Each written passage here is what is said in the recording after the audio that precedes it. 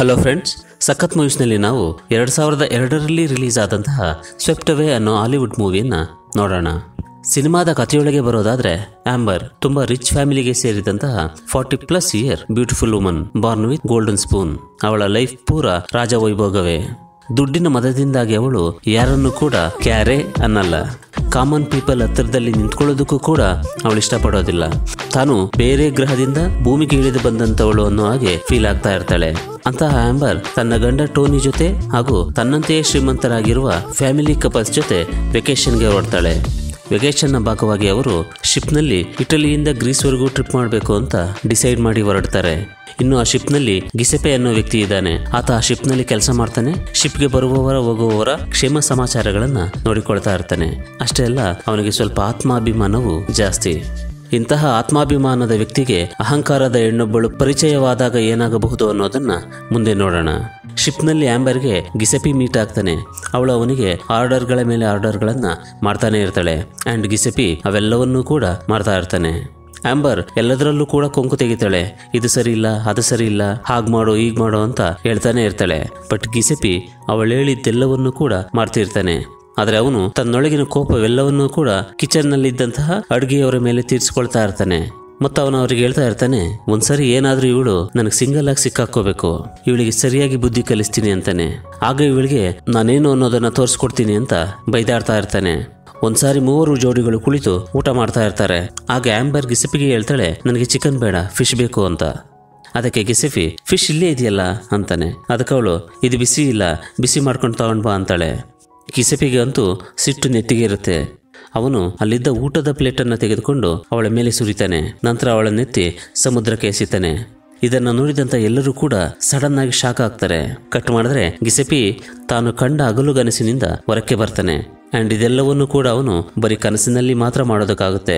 ಯಾಕಂದರೆ ಒಂದರ್ಥದಲ್ಲಿ ಅವಳು ಅವನಿಗೆ ಕೆಲಸ ಕೊಟ್ಟಿರುವಂಥ ಓನರ್. ಇವನು ಅದನ್ನು ಮಾಡುವಂಥ ನೌಕರ. ನಂತರ ಆಂಬರ್ ಏನೇನೋ ಡಿಮ್ಯಾಂಡ್ಗಳನ್ನು ಇಡ್ತಾ ಹೋಗ್ತಾಳೆ. ನೀರು ಸ್ವಲ್ಪನೇ ಬಿಸಿಯಾಗಿರಬೇಕು, ಬಟ್ಟೆ ಸ್ವಲ್ಪ ಒಣಗಿಸ್ಬೇಕು ಅಂತೆಲ್ಲ ಆರ್ಡರ್ ಮಾಡ್ತಾ ಇರ್ತಾಳೆ. ಅವರಿಬ್ಬರಲ್ಲೂ ಸಣ್ಣ ಸಣ್ಣ ಜಗಳಗಳು ಕೂಡ ನಡೀತವೆ. ಹಾಗೇನೆ ಅವು ಅಲ್ಲಲ್ಲೇ ಎಂಡಾಗ್ಬಿಡ್ತವೆ ಅವಳಿಗೆ ಒಂದ್ಸಾರಿ ಫಿಶಿಂಗ್ ಮಾಡಬೇಕು ಅಂತ ಅನಿಸುತ್ತೆ. ಅದನ್ನ ತನ್ನ ಗಂಡ ಟೋನಿಗೆ ಹೇಳ್ತಾಳೆ. ಆಗ ಟೋನಿ ಗಿಸಪಿ ಜೊತೆ ಇವಳನ್ನ ಒಂದು ಸಣ್ಣ ಬೋಟ್ನಲ್ಲಿ ಫಿಶಿಂಗ್ ಆಗಿ ಕಳಿಸ್ತಾನೆ. ಈಗ ಆಂಬರ್ ಮತ್ತು ಗಿಸಪಿ ಒಂದು ಸಣ್ಣ ಬೋಟ್ನಲ್ಲಿ ಫಿಶಿಂಗ್ಗೆ ಹೊರಡ್ತಾರೆ. ಆಗಲೂ ಕೂಡ ಅವಳು ಆರ್ಡರ್ಗಳನ್ನು ಮಾಡ್ತಾನೆ ಇರ್ತಾಳೆ. ಆಗ ಗಿಸಪಿ, ನೀವು ಸ್ವಲ್ಪ ಸುಮ್ಮನಿದ್ರೆ ನನ್ನ ಕೆಲಸಗಳನ್ನ ನಾನು ಆರಾಮಾಗಿ ಮಾಡ್ಕೊಳ್ತೀನಿ ಅಂತಾನೆ. ಬೋಟ್ ಸಾಕ್ತಾ ಸಾಕ್ತಾ ಸಮುದ್ರದ ಮಧ್ಯಕ್ಕೆ ಬರುತ್ತೆ. ಆದರೆ ಅಚಾನಕ್ಕಾಗಿ ಬೋಟ್ನ ಇಂಜಿನ್ ಕೈ ಆದರೆ ಆದ್ರೆ ಇವ್ರ ಹತ್ರ ಎಲ್ಪ್ಗೋಸ್ಕರ ಯಾವುದೇ ಆಪ್ಷನ್ ಕೂಡ ಇರೋದಿಲ್ಲ. ಬೋಟಲ್ಲಿದ್ದಂಥ ವಾಕಿ ಟಾಕಿ ಕೂಡ ಕೆಲಸ ಮಾಡ್ತಾ ಇರೋದಿಲ್ಲ.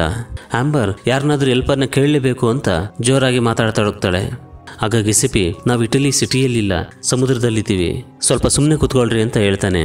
ರಾತ್ರಿ ಆಗುತ್ತೆ ಆಂಬರ್ ಬೋಟ್ನಲ್ಲಿ ನಿದ್ದೆ ಮಾಡ್ತಾಳೆ. ಗಿಸಪಿ ಮಾತ್ರ ಆ ಇಂಜಿನ್ ಅನ್ನ ಬಿಚ್ಚಿ ರಿಪೇರಿ ಮಾಡ್ತಾ ಇರ್ತಾನೆ. ಬೆಳಗಾಗೋವರೆಗೂ ಅವರಿಗೆ ಯಾವುದೇ ತರಹದ ಹೆಲ್ಪ್ ಸಿಗಲ್ಲ. ಹೀಗೆ ಬೋಟ್ ಯಾವುದೋ ದುಕ್ಕಿಗೆ ಚಲಿಸ್ತಾ ಚಲಿಸ್ತಾ ಹೋಗುತ್ತೆ. ಬೆಳಗಾಗುವಷ್ಟರಲ್ಲಿ ಅವರೆದುರಿಗೆ ಒಂದು ಸಣ್ಣದಾದ ಐಲ್ಯಾಂಡ್ ಕಾಣಿಸುತ್ತೆ. ಆಗ ಆಂಬರ್ ಗಿಸಪಿಯನ್ನ ಎಬ್ಬಿಸ್ತಾಳೆ ಇಬ್ಬರು ಕೂಡ ಆ ಐಲ್ಯಾಂಡ್ ತಲುಪ್ತಾರೆ. ಅಂಡ್ ಯಾವುದಾದ್ರೂ ಹೆಲ್ಪ್ ಸಿಗೋವರೆಗೂ ಆ ಐಲ್ಯಾಂಡ್ ನಲ್ಲೇ ಉಳ್ಕೊಳ್ಳುವಂತ ಪರಿಸ್ಥಿತಿ ಬರುತ್ತೆ. ಗಿಸಿಪಿ ಅಲ್ಲೊಂದು ಮನೆಯನ್ನ ರೆಡಿ ಮಾಡ್ಕೊಳ್ತಾನೆ. ಸಮುದ್ರದಿಂದ ಮೀನುಗಳನ್ನು ಹಿಡಿದು ಅದನ್ನು ಬೇಯಿಸಿ ತಿನ್ನತೊಡಗ್ತಾನೆ ಆಂಬರ್ಗೂ ಕೂಡ ತುಂಬಾ ಹಸುವಾಗುತ್ತೆ. ಅವಳು ಗಿಸಿಪಿಯನ್ನ ಮೀನು ಕೊಡುವಂತೆ ಕೇಳ್ತಾಳೆ. ಆಗ ಗಿಸಿಪಿ ಹೇಳ್ತಾನೆ, ಫಿಶ್ ನಿಮಗೆ ಬಿಸಿಯಾಗಿರ್ಬೇಕಾ ಅಥವಾ ಸ್ವಲ್ಪ ತಣ್ಣಗಿದ್ರೂ ನಡೆಯುತ್ತಾ? ಅಂತ. ಅದಕ್ಕೆ ಅವಳು, ನನಗೆ ತಿನ್ನೋದಕ್ಕೆ ಒಂದು ಸ್ವಲ್ಪ ಫಿಶ್ ಇದ್ರೆ ಸಾಕು. ಅದಕ್ಕೆ ಎಷ್ಟು ದುಡ್ಡು ಆಗುತ್ತೋ ಅದನ್ನು ತಗೋ ಅಂತಾಳೆ. ಹತ್ತತ್ರ ಅವಳು ಟೆನ್ ತೌಸಂಡ್ ಡಾಲರ್ ಕೊಡೋದಕ್ಕೂ ರೆಡಿ ಆಗ್ತಾಳೆ. ಆಗ ಗಿಸಿಪಿ ಹೇಳ್ತಾನೆ ಮೇಡಮ್ ಇದು ಐಲ್ಯಾಂಡು. ಇಲ್ಲಿ ನಿಮ್ಮ ಹತ್ರ ಇರುವಂಥ ಡಾಲರ್ಗಳೇನು ನಡೆಯಲ್ಲ ಅಂತಾನೆ. ಆಂಬರ್ ಇದರಲ್ಲೇ ಅವನು ಎಲ್ಲ ಫಿಶ್ಗಳನ್ನು ಕೂಡ ತಿಂದಾಕ್ತಾನೆ ಆಗ ಆಂಬರ್ ಹೇಳ್ತಾಳೆ, ನನಗೋಸ್ಕರ ಮತ್ತೊಂದಷ್ಟು ಫಿಶ್ಗಳನ್ನು ತಗೊಂಡು ಬಾ ಅಂತ. ಆಗ ಗಿಸಪಿ ಹೇಳ್ತಾನೆ, ನಾನಿಲ್ಲಿ ನಿಮ್ಮ ನೌಕರ ಅಲ್ಲ ಆ್ಯಂಡ್ ನೀವು ನನಗೆ ಆರ್ಡರ್ ಮಾಡೋಗಿಲ್ಲ ಇಲ್ಲೇನಿದ್ರು ನಾನು ಓನರ್, ನೀನು ವರ್ಕರ್ ಅಂತಾನೆ. ಆಂಬರ್ ಇದರಿಂದಾಗಿ ಅವನ ಮೇಲೆ ಸಿಟ್ಟಾಗ್ತಾಳೆ. ಅಲ್ಲಿದ್ದ ಮಣ್ಣನ್ನು ತೆಗೆದುಕೊಂಡು ಅವನ ಮೇಲೆ ಎರಚುತ್ತಾಳೆ ಇದರಿಂದ ಸಿಟ್ಟಾದಂಥ ಗಿಸಿಪಿ ಅವಳ ಕೆನ್ನೆಗೆ ಎರಡು ಬಾರಿಸಿ ನೀನು ನನ್ನ ನಿಲ್ಲಿ, ಮಾಸ್ಟರ್ ಅಂತ ಕರಿಬೇಕು ಅಂತೇಳಿ ಅಲ್ಲಿಂದ ಹೊರಟು ಹೋಗ್ತಾನೆ. ಆಂಬರ್ಗೂ ಕೂಡ ಬೇರೆ ದಾರಿ ಇಲ್ಲದೆ ಇರೋದ್ರಿಂದ ಅವಳು ಅವನಿಂದೇನೆ ನಡೀತಾ ಬರ್ತಾಳೆ. ಗಿಸಿಪಿ ಅಲ್ಲೊಂದು ಮನೆಯನ್ನ ರೆಡಿ ಮಾಡ್ಕೊಂಡಿರ್ತಾನೆ. ಅದರಲ್ಲಿ ರಾತ್ರಿ ಮಲಗೋದಕ್ಕಂತ ಹೋಗ್ತಾನೆ. ಮತ್ತು ಅವನು ಆಂಬರ್ಗೆ ಹೇಳ್ತಾನೆ, ನನ್ನ ಮನೆಯೊಳಗೆ ನೀವು ಮಲ್ಕೊಳ್ಳೋದಕ್ಕೆ ಜಾಗನೇ ಇಲ್ಲ ಅಂತೇಳಿ ಬಾಗಿಲನ್ನು ಕ್ಲೋಸ್ ಮಾಡ್ತಾನೆ. ಆಂಬರ್ ಹೇಳ್ತಾಳೆ, ಈ ರಾತ್ರಿ ಮಲ್ಕೊಳ್ಳೋದಕ್ಕಂತ ಆ ಮನೆಯಲ್ಲಿ ಸ್ವಲ್ಪ ಜಾಗ ಕೊಡು ಅಂತ. ಆಗ ಗಿಸಿಪಿ ಹೇಳ್ತಾನೆ, ನಿಮ್ಮಂಥವರಿಗೆ ನಮ್ಮಂಥವ್ರ ಮನೆಗಳು ಇಷ್ಟ ಆಗಲ್ಲ. ಹಾಗಾಗಿ ನನ್ನ ಮನೆಯಲ್ಲಿ ಮಲ್ಕೊಳ್ಳೋದೇನೂ ಬೇಡ ಅಂತ ಹೇಳಿ ಬಾಗಿಲನ್ನ ಕ್ಲೋಸ್ ಮಾಡ್ತಾನೆ. ಬೇರೆ ದಾರಿ ಇಲ್ಲದೆ ರಾತ್ರಿ ಪೂರ ಅವಳು ಆ ಮನೆ ಹೊರಗಡೆನೆ ಚಳಿಯಲ್ಲಿ ನಡುಕ್ತಾ ಮಲಗ್ತಾಳೆ. ಬೆಳಗಾಗುತ್ತೆ, ಗಿಸಿಪಿ ಮನೆಯಿಂದಿದ್ದು ಹೊರ ಬರ್ತಾನೆ. ಆಂಬರ್ ಮನೆ ಆಚೆ ಮಲಗಿದ್ದಾಳೆ. ನಂತರ ಅವನು ಅವಳನ್ನು ಎಬ್ಬಿಸ್ತಾನೆ. ಆಗ ಅವನು ಹೇಳ್ತಾನೆ ಈ ಐಲ್ಯಾಂಡ್ನಲ್ಲಿ ನಾನು ಓನರು ನೀನ್ ವರ್ಕರು. ಹಾಗಾಗಿ ಬೆಳಿಗ್ಗೆನೇ ಇದ್ದು ಕೆಲಸ ಮಾಡಬೇಕು ಅಂತ ಹೇಳ್ತಾನೆ. ಆದರೆ ಅವಳು ಅದನ್ನು ಒಪ್ಕೊಳ್ಳೋದಿಲ್ಲ. ಗಿಸಿಪಿ ಮತ್ತೆರಡು ಹೊಡಿತಾನೆ. ನಂತರ ಅವಳು ಅವನು ಹೇಳಿದಂತೆ ಕೇಳತೊಡಗ್ತಾಳೆ ಗೆಸಿಪಿ ಆಂಬರ್ಗೆ ಮೀನುಗಳು ಹಿಡಿಯೋದನ್ನ ಕಲಿಸಿಕೊಡ್ತಾನೆ. ಹಿಡಿದಂತ ಮೀನುಗಳನ್ನ ಬೇಯಿಸಿ ಹೇಗೆ ರೆಡಿ ಮಾಡಬೇಕು ಅನ್ನೋದನ್ನ ತೋರಿಸಿಕೊಡ್ತಾನೆ. ಈಗ ಗೆಸಿಪಿ ಆರಾಮಾಗಿ ರೆಸ್ಟ್ ಮಾಡ್ತಾ ಇರ್ತಾನೆ. ಆಂಬರ್ ಅವನಿಗೋಸ್ಕರ ಮೀನುಗಳನ್ನ ಬೇಯಿಸಿ ಅವುಗಳನ್ನ ರೆಡಿ ಮಾಡಿ ಅವನಿಗೆ ತಂದು ಕೊಡ್ತಾಳೆ. ಇದೆಲ್ಲದರ ಜೊತೆ ಗೆಸಿಪಿ ಅವಳನ್ನ ಒಂಥರ ನೋಡತೊಡಗ್ತಾನೆ ಯಾಕಂದ್ರೆ ಅವನು ಕೂಡ ಗಂಡಸು. ಅವನು ಅವಳನ್ನ ಐಟಮ್ ಡ್ಯಾನ್ಸ್ ಗರ್ಲ್ ಆಗಿ ಕಲ್ಪಿಸಿಕೊಳ್ಳತೊಡಗ್ತಾನೆ ಅವಳ ಹಾವಭಾವಗಳನ್ನು ಊಹಿಸಿಕೊಳ್ತಾ ಕಾಮೋನ್ಮತ್ತನಾಗತೊಡಗ್ತಾನೆ ಮುಂದಿನ ಆಂಬರ್ ಇವನ ಟಾರ್ಚರ್ಗಳು, ಇವನು ಹೇಳುವಂಥ ಕೆಲಸಗಳೆಲ್ಲವನ್ನೂ ಕೂಡ ಸಹಿಸಿಕೊಳ್ಳಲಾಗದೆ ಅಲ್ಲಿಂದ ಓಡತೊಡಗ್ತಾಳೆ ಗಿಸೆಪಿ ಕೂಡ ಅವಳ ಹಿಂದೆ ಓಡ್ತಾ ಓಡ್ತಾ ಅವಳನ್ನು ಕೆಳಕ್ಕೆ ಬೀಳಿಸ್ತಾನೆ. ಬೀಚ್ನಲ್ಲಿ ಬಲವಂತವಾಗಿ ಅವಳ ಬಟ್ಟೆಗಳನ್ನು ಹಿಡಿದೇಳೆದು ಕಳಿಸ್ತಾನೆ ನಂತರ ಅವಳ ಮೇಲೆರಿಗಿ, ನನ್ನನ್ನು ಅಕ್ಸೆಪ್ಟ್ ಮಾಡುವಂತ ನೀನು ರಿಕ್ವೆಸ್ಟ್ ಮಾಡುವಂತೆ ಕೇಳ್ಕೊ ಅಂತ ಹೇಳ್ತಾನೆ. ಅದಕ್ಕೆ ಅವಳು, ನಾನು ಬೇಕಾದರೆ ಯಾವುದಾದ್ರೂ ಪ್ರಾಣಿ ಜೊತೆ ಮುಲುಗ್ತೀನಿ, ಆದರೆ ನಿನ್ನ ಜೊತೆ ಮಾತ್ರ ಸಾಧ್ಯವಿಲ್ಲ ಅಂತಾಳೆ. ಗಿಸಿಪಿಗೆ ಮತ್ತಷ್ಟು ಕೋಪ ಬರುತ್ತೆ. ನಂತರ ಅವನು ಅವಳನ್ನು ಕಿಸ್ ಮಾಡತೊಡಗ್ತಾನೆ ಅವಳಲ್ಲಿನ ಕಾಮವನ್ನು ಉತ್ತೇಜಿಸತೊಡಗ್ತಾನೆ. ಕಾಮದ ಬೆಂಕಿ ಒತ್ತಿ ದಗದಗಿಸತೊಡಗಿದಾಗ ಸಡನ್ ಆಗಿ ಎದ್ದು ಹೊರಟು ಹೋಗ್ತಾನೆ. ನಂತರ ಅವನು ಹೇಳ್ತಾನೆ, ನನ್ನ ಕೆಲಸ ಏನಿದ್ರು ನಿನ್ನನ್ನು ಹೈ ಲೆವೆಲಲ್ಲಿ ಉದ್ರೇಕಗೊಳಿಸೋದಷ್ಟೇ. ನೀನು ಯಾವಾಗ ನನ್ನ ಹತ್ರ ಬಂದು ನನ್ನನ್ನು ಅಕ್ಸೆಪ್ಟ್ ಮಾಡ್ಕೋ, ಅದನ್ನು ಮಾಡು ಅಂತೀಯೋ, ಆಗಲೇ ನಾನು ನಿನ್ನ ಜೊತೆ ಸಂಭೋಗ ಮಾಡ್ತೀನಿ ಅಂತ ಹೇಳಿ ಅಲ್ಲಿಂದ ಹೊರಟು ಹೋಗ್ತಾನೆ. ಆಂಬರ್ ಒಳಗಿನ ಬೆಂಕಿ ದಗದಗನೆ ಉರಿಯುತ್ತಾ ದೇಹವನ್ನು ಸುಡ್ತಾ ಇರುತ್ತೆ. ನಂತರ ಅವಳು ಗಿಸೆಪಿ ಹತ್ರ ಬರ್ತಾಳೆ. ಅವನನ್ನು ಬಳಸಿ ಕಿಸ್ ಮಾಡತೊಡಗ್ತಾಳೆ. ಮತ್ತು ಅವನನ್ನ ರಿಕ್ವೆಸ್ಟ್ ಮಾಡ್ತಾಳೆ. ಇದಾದ ನಂತರ ಇಬ್ಬರು ಕೂಡ ಬೆಂಕಿ ಎದುರು ನಗ್ನವಾಗಿ ಪ್ರಜ್ವಲಿಸತೊಡಗ್ತಾರೆ. ಬೆಳಿಗ್ಗೆ ಮಧ್ಯಾಹ್ನ ರಾತ್ರಿಗಳೆನ್ನದೆ ಕಾಮ ಸಮುದ್ರದಲ್ಲಿ ಮಿಂದೇಳತೊಡಗ್ತಾರೆ ನಂತರ ಅವರಿಬ್ಬರು ಖುಷಿಯಾಗಿ ಮಾತಾಡತೊಡಗ್ತಾರೆ. ಫಿಶಿಂಗ್ ಮಾಡ್ತಾರೆ. ಆ ಐಲ್ಯಾಂಡ್ನಲ್ಲೆಲ್ಲ ಎಲ್ಲೆಂದರಲ್ಲಿ ಮಿಲನ ಮಹೋತ್ಸವ ನಡೆಸತೊಡಗ್ತಾರೆ. ಹೀಗೆ ಬರ್ತಾ ಬರ್ತಾ ಅವರಿಬ್ಬರಲ್ಲೂ ಪ್ರೀತಿ ಚಿಗುರೊಂದು ಮೊಳಕೆ ಹಿಡಿಯುತ್ತದೆ ಹೀಗೆ ಅವರಿಬ್ಬರು ಆ ಐಲ್ಯಾಂಡ್ನಲ್ಲಿ ಸ್ವಚ್ಛಂದ ಪಕ್ಷಿಗಳಾಗಿ ವಿಹರಿಸತೊಡಗ್ತಾರೆ. ಆಂಬರ್ ನೋಡ್ತಾಳೆ, ಸಮುದ್ರದ ಅಷ್ಟು ದೂರದಲ್ಲಿ ಬೋಟೊಂದು ಬರ್ತಾ ಇರುತ್ತೆ. ಆಗ ಆಂಬರ್ ಅವರಿಗೆ ಕಾಣಿಸಿದ ಹಾಗೆ ಅಡಿಗೆ ಕುಳಿತುಕೊಳ್ತಾಳೆ. ಯಾಕಂದ್ರೆ ಅವಳಿಗೆ ಈ ಐಲ್ಯಾಂಡ್ ಇಷ್ಟವಾಗಿರುತ್ತೆ.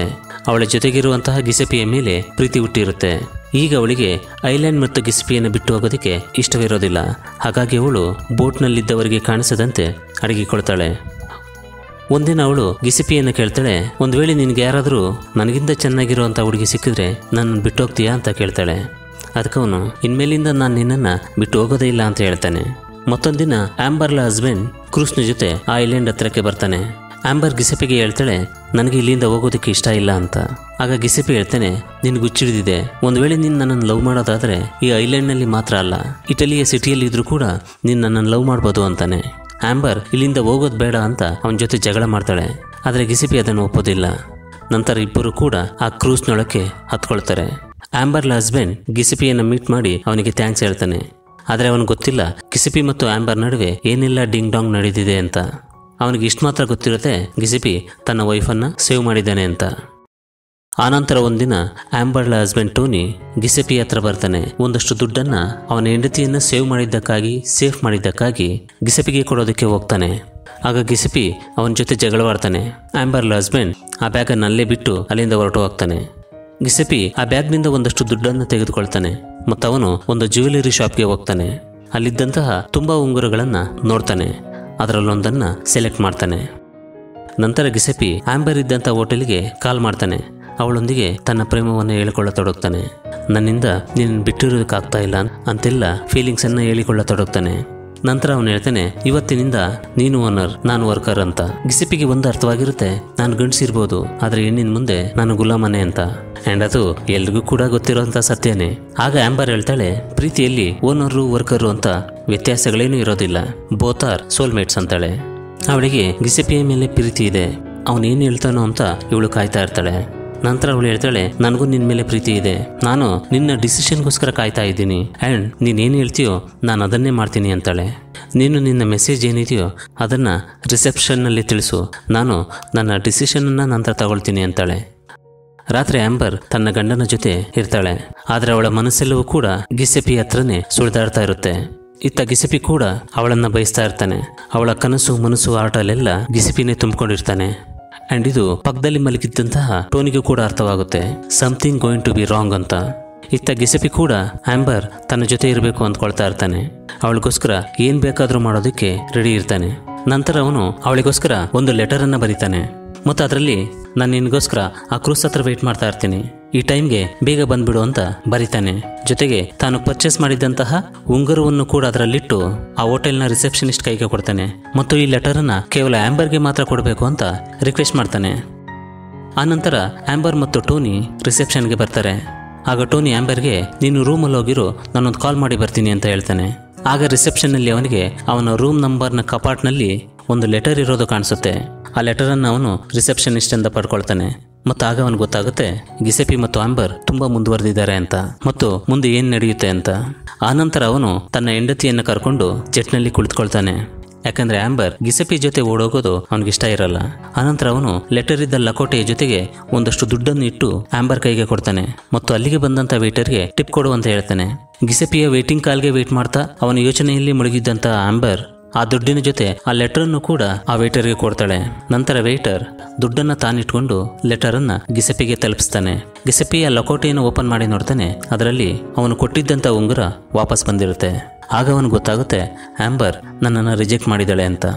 ಹಾಗಾಗಿ ಅವಳು ಇಲ್ಲಿಂದ ಹೊರಟೋಗ್ತಿದ್ದಾಳೆ ಅಂದ್ಕೊಳ್ತಾನೆ ಆದರೆ ಗಿಸಿಪಿಗೆ ಅವಳನ್ನು ಬಿಟ್ಟಿರೋದಕ್ಕಾಗಲ್ಲ. ಅವಳ ಹತ್ರ ಮಾತಾಡಬೇಕು ಅಂತ ಅಂದ್ಕೊಂಡು ಜೆಟ್ನ ಕಡೆ ಓಡತೊಡಗ್ತಾನೆ.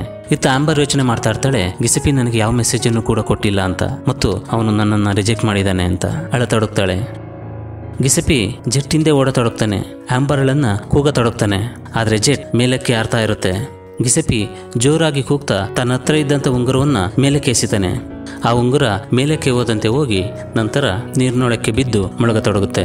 ನೀರಿನೊಳಗೆ ಟ್ರಾವೆಲ್ ಮಾಡ್ತಾ ಮಾಡ್ತಾ ಸಾಗರ ದಾಳದೊಳಗೆ ಮರೆಯಾಗುತ್ತೆ. ಹಾಗೆ ಇವರಿಬ್ಬರ ಲವ್ ಸ್ಟೋರಿ ಕೂಡ ಅರ್ಧ ದಾರಿಯಲ್ಲೇ ಉಳಿದು ಹೋಗುತ್ತೆ. ಇಲ್ಲಿಗೆ ಸ್ವೆಪ್ಟವೇ ಮೂವಿ ಕೂಡ ಎಂಡ್ ಆಗುತ್ತೆ. ನಮಸ್ಕಾರ.